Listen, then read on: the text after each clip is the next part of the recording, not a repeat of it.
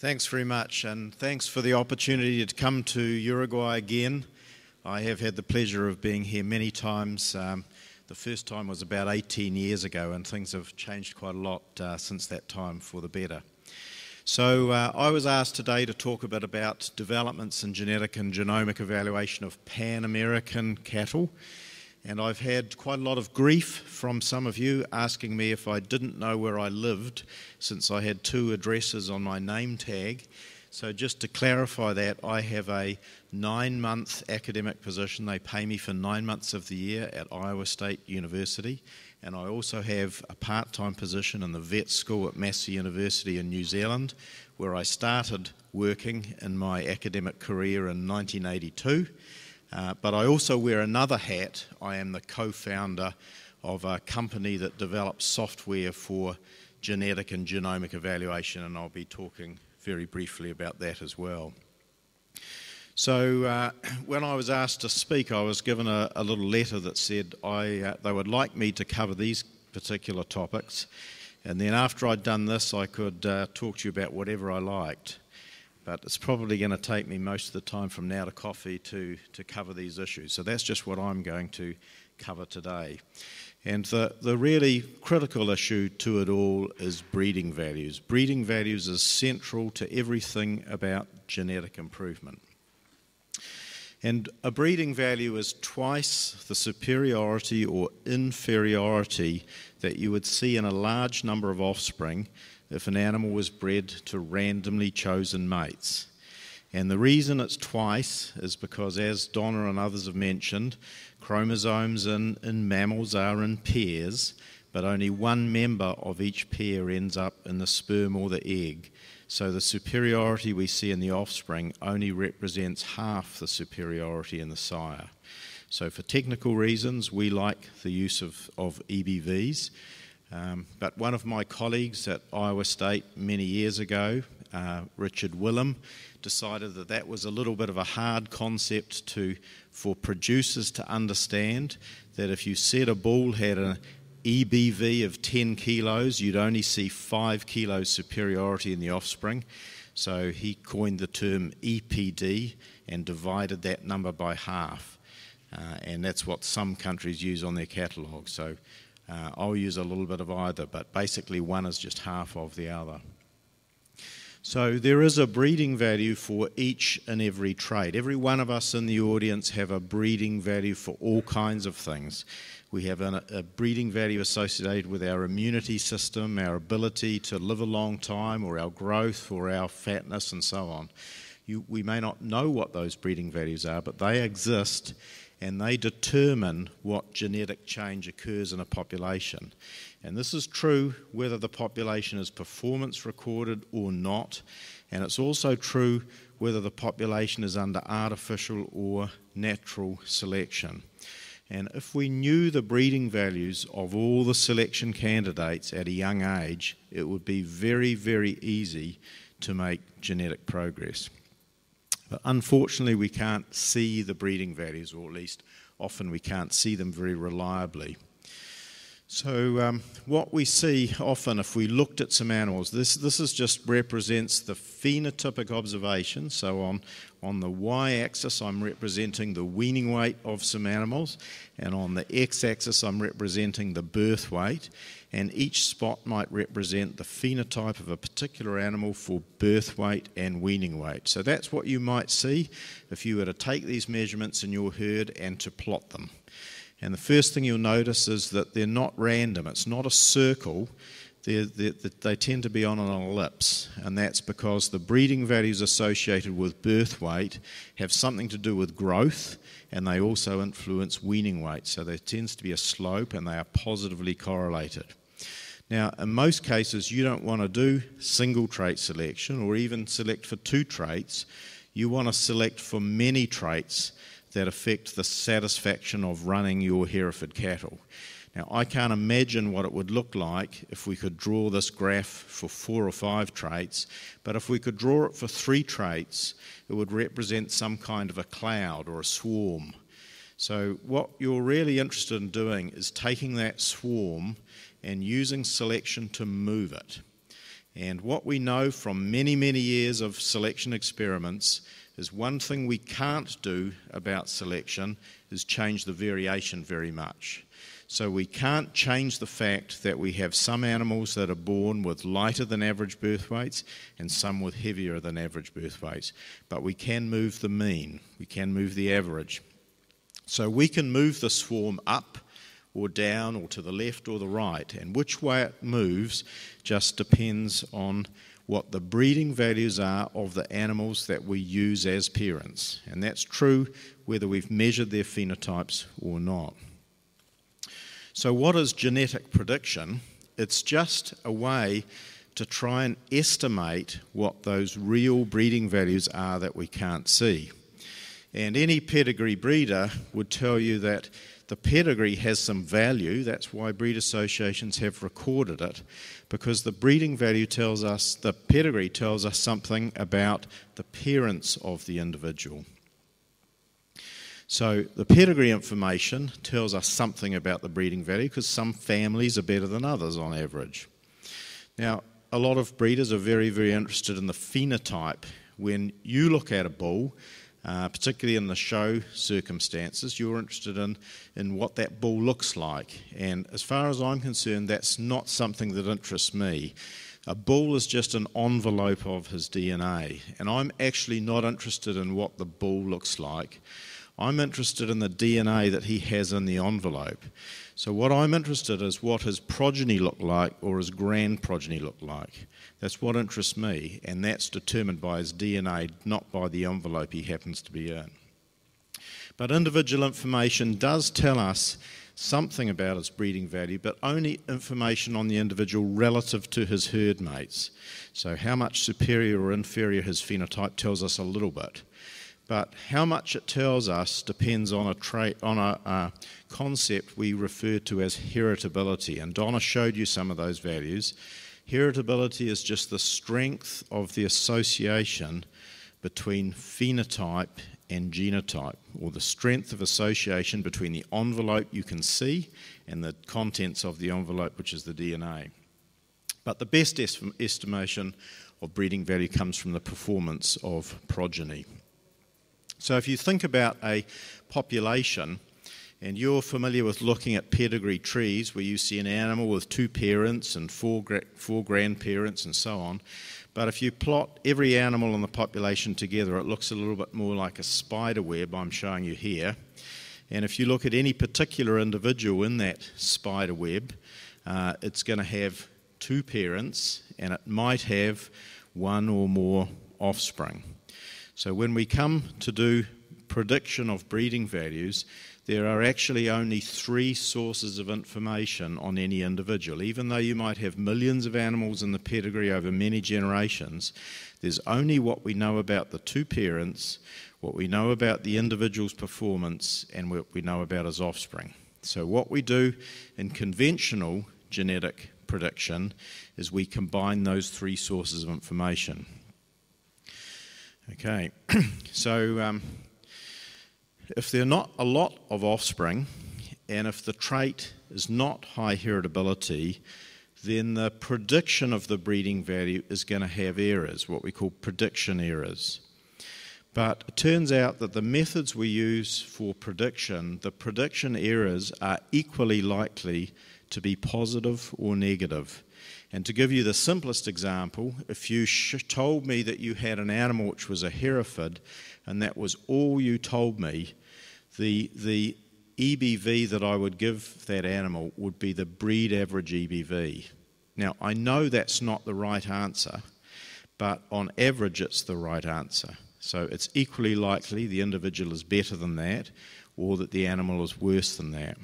On average, I will be correct. If you tell me a little bit more who the sire of the animal is, then I will adjust my estimate up or down a little bit. But it will still be correct on average, but it could have some errors. And as I get more and more information, the prediction errors are going to get smaller and smaller. And the breeding value that I report, the EBV, will be closer to his true BV. So, one of the things that tells me is that trends in population EBV reflect trends in the true BV. And this actually hasn't been known all that long. It was only in the 1980s that this concept was actually uh, uh, identified. Prior to that, we thought we had to use control information. We had to use control or unselected animals to sell if we had genetic trend. So one of the things people like myself do we, is we look at genetic trends to see what's happening. And this is genetic trends for the American Hereford Association out of the PACE evaluation. And on the uh, y-axis, I've shown the EPD in pounds for those people who are used to EPD systems, but that's more or less the same as the EBV measured in kilos. So you take your choice as to how you want to interpret it. We've got year of birth on along the bottom for the last 35 years, and those are the trends for yearling weight and for weaning weight. And the first thing you'll notice is is they are not linear. They looks like there are two phases where the rate of improvement in weight is not as much as it used to be. And one of the things someone like myself would do is look at these and say, how do those compare to theoretical rates of gain? That gives me an idea on what the selection efficiency is in your programs. Well, it doesn't take too much thinking to work out why it is that the slope for increases in growth rate declined, it's because in 1990 ultrasound evaluations of carcass information were released. So prior to 1990, all people had to select on was growth rate, so they put a lot of emphasis on growth. But in 1990, when there was ultrasound information, they started to select for a combination of growth and carcass or predicted carcass merit, and that's why there's a slower improvement in yearling weight. And if we looked at the trends in carcass traits, we would see that they increased at the time that it went slower for, um, for weight. Total herd reporting, one of the uh, traits that we really want to change is reproductive performance. And we've heard a bit about that already, how important that is, but you can only do that if you have total herd reporting. We can't look at a pedigree file and identify the good cows if we don't know when the cows had a calf. If only the good calves are reported, which used to be the practice in the past, then we can't analyse reproductive data from normal breed association records.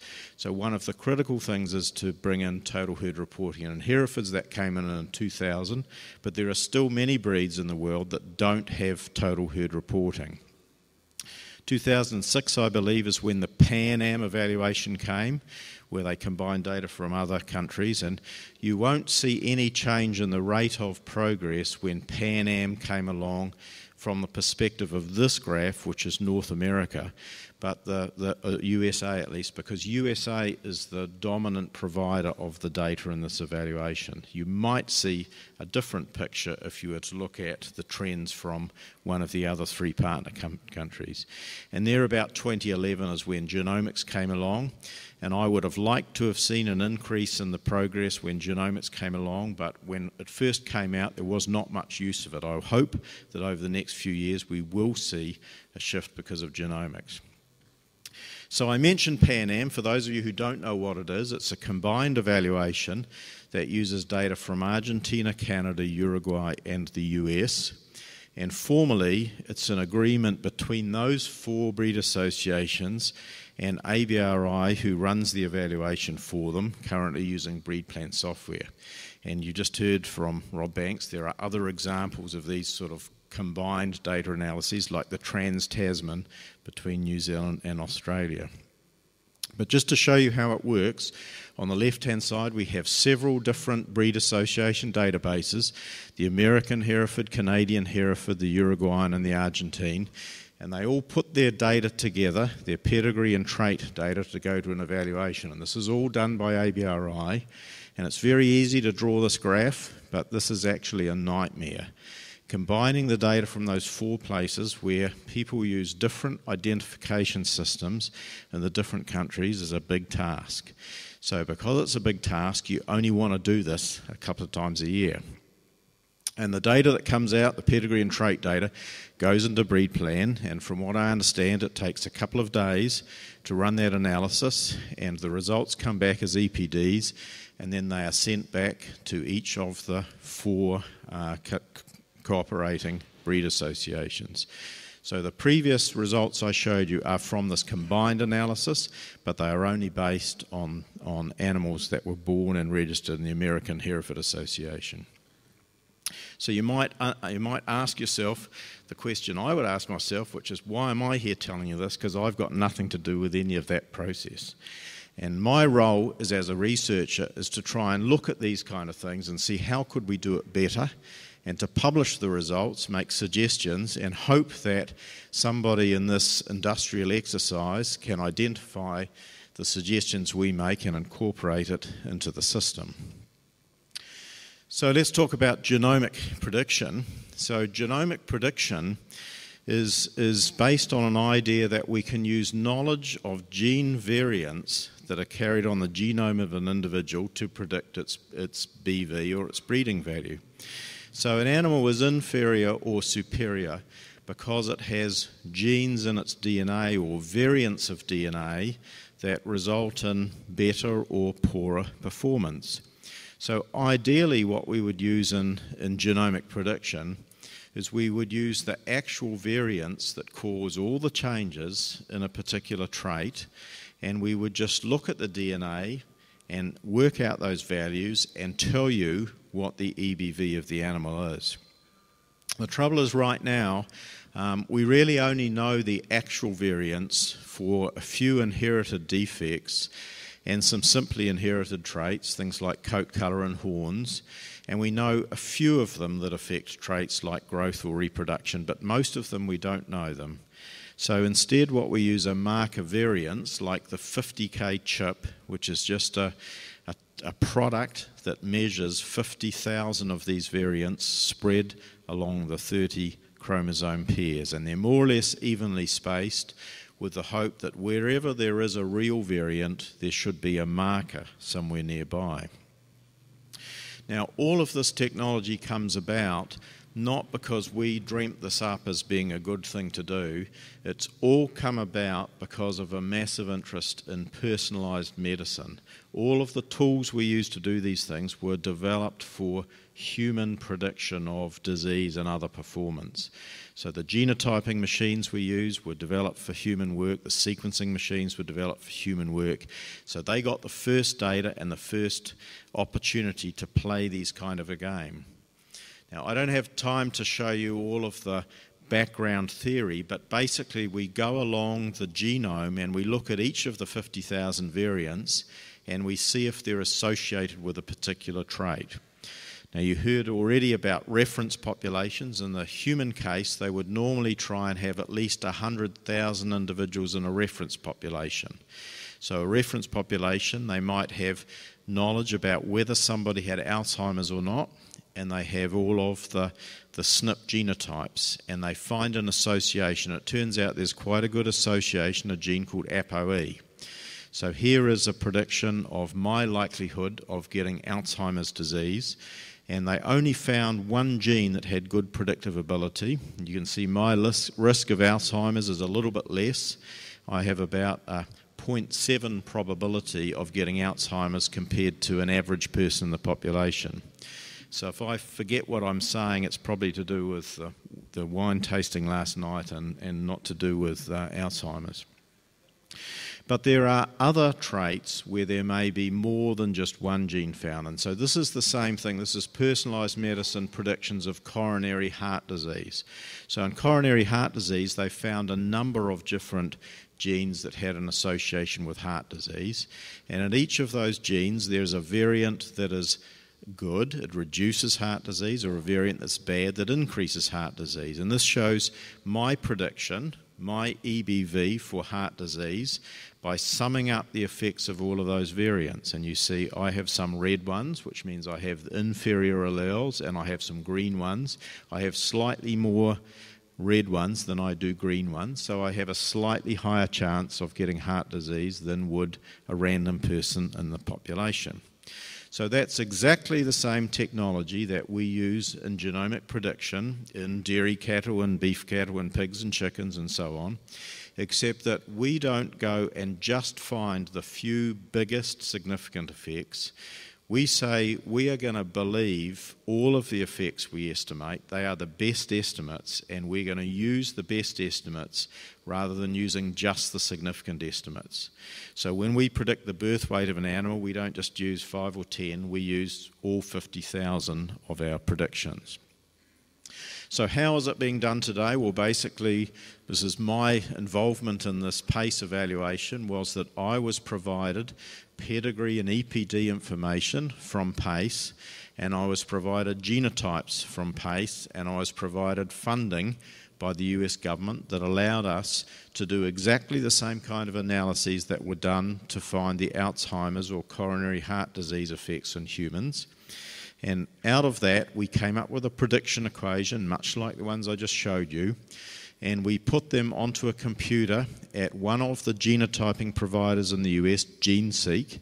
And this is an organization that does most of the genotyping in the US, so it has better prices because of economy of scale.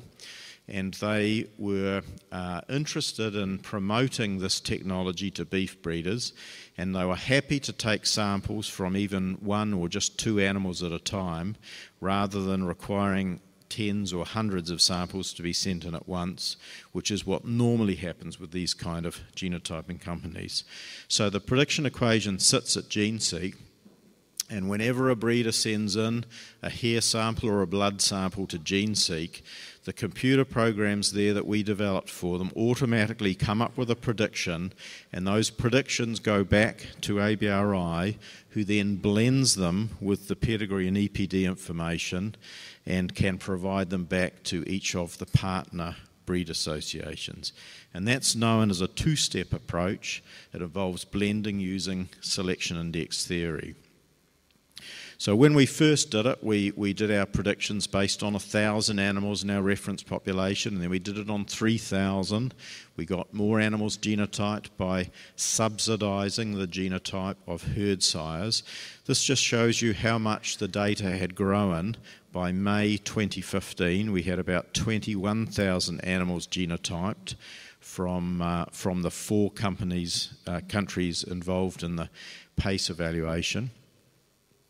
And uh, one of the things that we see looking at the data is that this, this growth in number of animals being genotyped is mostly occurring because people that were early adopted, who started off just by testing one or two animals, are now testing more animals in their calf crop.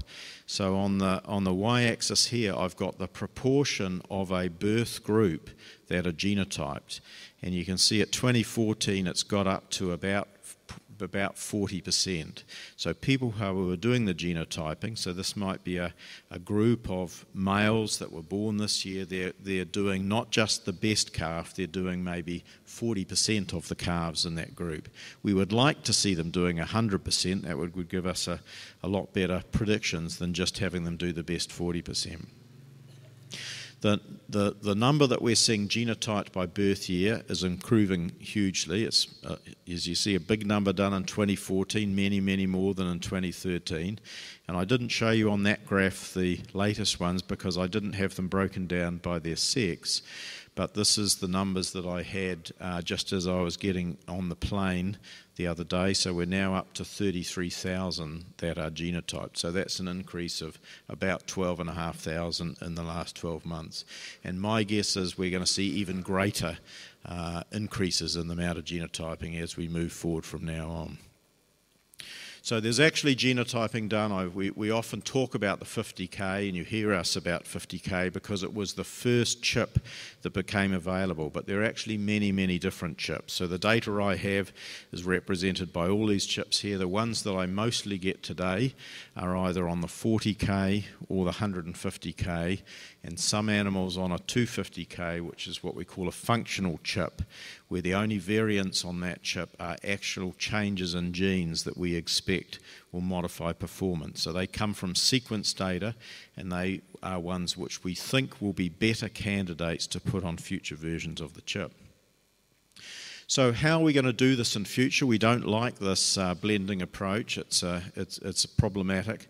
Uh, we really want to go to a single step, and we have a number of new models for doing that. And there's a workshop tomorrow that some people will be attending where we're going to go into some of the scientific details about the single step approach. There's actually quite a number of single step approaches, about a dozen that I know of, and uh, they vary quite a lot in their in their computational aspects, but um, all of them end up generating a, an EPD and a reliability. There's new software, so ABRI will be using the software called Bolt rather than BreedPlan for these evaluations, and Bolt was developed by the company that I mentioned I was a co founder on. And the other thing that will change in the future is there'll be new variants on the marker panels. So we expect every few months new chips will come out that have better features on them. So the markers are going to successively evolve to give us better and better chips. And I think in future we may use a lot less markers than we're using now, but instead of them being markers, they'll be causal variants. And I think we'll also start routinely sequencing widely used bulls Right now, that's costing me about $2,000 to do, and I have sequenced every one of the bulls that is used in the university herd, and I know that there are 14 million variants that are segregating in our university herd of about 400 cows. So the software bolt, this is uh, my partner Bruce Golden here developing the software. Uh, what's different about the software that we've developed is that we have um, written software that works on graphics processors. Some of you may have uh, children or know somebody else who are into playing these computer games, and these computer games have animation where uh, images can change on the screen very, very quickly. And in order to do that, they had to develop fast processing power, and they developed it on something called a graphics board, and that's what you see in the in the image in the middle on the top. That's a graphics card that plugs into a computer and connects to the screen. Well, it turns out we can trick these graphics cards into doing the calculations we need to do for genetic prediction or genomic prediction. And the gaming animation industry is worth more than $100 billion a year. And a lot of that money gets spent on development of these graphics cards. This is a picture of the largest computer, high performance computer in the US. It's called Titan and uh, it's actually a Cray computer at the Oak Ridge Laboratory. It's the second fastest computer in the world, at least it was a few weeks ago. That could change soon. Uh, it has about 19,000 computers inside it, and each one of those computers has 16 cores or processing units. So it's got many, many, many processing units. But in addition, it has 19,000 of those graphics cards in it. And that's what gives it the real processing power. And the reason it's called Titan is that one version of these graphics cards is known as a Titan. This is my supercomputer. The one on the right, the most expensive one I have, is an $8,000 computer, which is much, much cheaper than I would have to pay to buy a fraction of the large high performance computer that we use for research. And uh, there's a couple of things you'll notice about it. One is the power supply down the bottom, that's a 1500 watt power supply. A normal desktop computer would only have about 600 because you need a bit more power to drive these graphics cards. And I have four graphics cards on the one on the right, and each graphics card is ca- capable of simultaneously doing thousands of calculations. And then the, the, the processor, the normal computer processor up on the top, is cooled by a radiator. So you see some hoses coming out of it. And that means that uh, we can make it work a bit harder and it won't get too hot. So, uh, what do those kind of things do for you? Well, this is just showing you running the conventional analysis using only the American Hereford Association data, about four and a half million animals for growth, compared to running the whole pace evaluation with six million animals growth the, the predictions we get from pedigree compared to the pace evaluations have correlations round about 0.99. So we're getting virtually the same answers even though we're not using the same data. and even though we're not running every one of the traits in together. There are about four and a half million animals, and I told you that the breed plan analysis takes about 12 uh, takes about two days to do. This analysis on my cheap computer took 12 minutes from taking those raw data files, building and solving the equations, and another one hour to get the accuracies, and not the approximate accuracies, but to get the accuracies from what we call a Markov chain Monte Carlo. So that means if you could generate the data easily for Pan American, you could run this evaluation multiple times a day. Or you, at the very least, you could run it every day or you could run it every week instead of running it just twice a year. But the problem about running it twice a year is the nightmare of combining all of the IDs together. And that is the weak part of the system when we talk about these international collaborations. And just to give you another comparison down the bottom, the software the American Angus Association uses to do the same model, they have eight and a half million animals. It takes them about 12 hours. And we have done much bigger. In fact, we recently done, did some with 43 million animals on a, on a dairy system. But the other nice thing about this is that when we calculate the accuracy um, we get much more accurate predictions than we do without genomics. So here I'm showing you the prediction error variance. So this is the size of the errors rather than the accuracy on the y-axis. So a high number on the y-axis means big errors. A low number on the y-axis means low errors. So on the left-hand side of the graph, you can see progeny tested bulls with accurate predictions. On the very, very right side, you're seeing genotyped animals that don't even have their phenotype measured. And the green line represents the accuracy using only pedigree, and the blue line represents the accuracy when we include the genotype information. And you can see we get quite a big jump in accuracy using one of the single step models. But there's actually another single step model that we like, which makes the assumption that some of the markers don't actually have a real effect. So we actually use what's called a mixture model or variable selection model to find the best features that predict the trait. And you can see going from the middle line to the bottom line, that's extra accuracy you're buying just by using that particular statistical technique that we've incorporated in one of these models.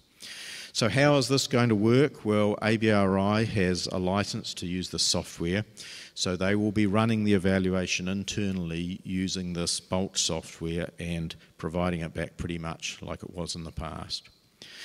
So, how is this stuff going to be used? Well, in its simplest form, genomic predictions are used exactly the same way you do any other prediction. You just get an EPD and you use an accuracy. So you use that just like you would use it, regardless of how what information went into that EPD or accuracy. The interpretation is exactly the same as before. The only thing you'd notice is the accuracy is higher than it would have otherwise been. In a more complex form, you might want to do some of the kinds of things that Donna talked about. You might want to, to get a good variant into a family that it doesn't currently exist in, or you might to eliminate an offspring that has an undesirable variant. Uh, and ultimately, we will end up gene editing some of these variants. We know that there are several major genes, there's four or five major genes that affect growth and reproduction Hereford cattle, and one of the things we notice is that the population is over, uh, overwhelmingly enriched by heterozygotes, which means that unwittingly you don't like the homozygotes and you are continuously selecting animals which are heterozygous, and that's not a very efficient way of doing selection.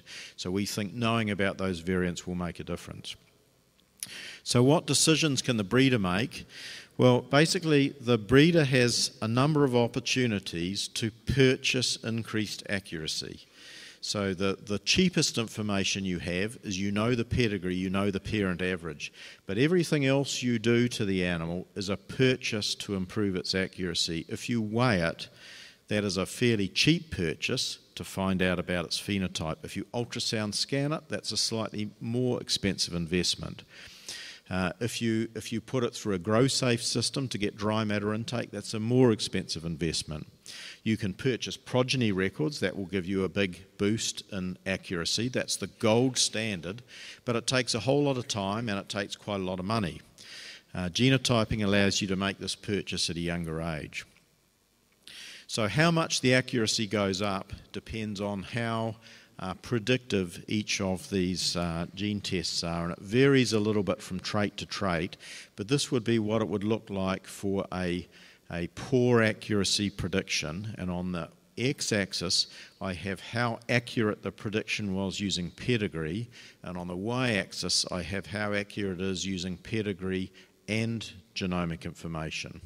And what you see is if an animal was already accurately predicted, the genotyping isn't going to add anything. The genotyping adds the most value when you know nothing about the animal, which is when it is first born. And this is what the graph will look like for a, uh, a, a, a more accurate genomic prediction, one that has had a bigger training population. You get a bigger boost when you do the in, initial investment. And how much increase you get is going to be different for every one of the traits. So, summary genomic prediction will not improve the accuracy of bulls that already have reliable breeding values. Genomic breeding values are equally likely to be better or worse than their pedigree EBVs. Sometimes the breed associations get calls by breeders complaining about the bulls that turned out to be worse than they thought they should have been. I've never had a complaint about a breeder uh, ringing up and saying a bull's turned out to be better than we thought he was. Um, genomic prediction mostly increases the accuracy of predictions of young animals. Selection using genomic data will be more accurate than conventional prediction and can increase the rate of genetic improvement provided you believe in the predictions and use them to choose your parents.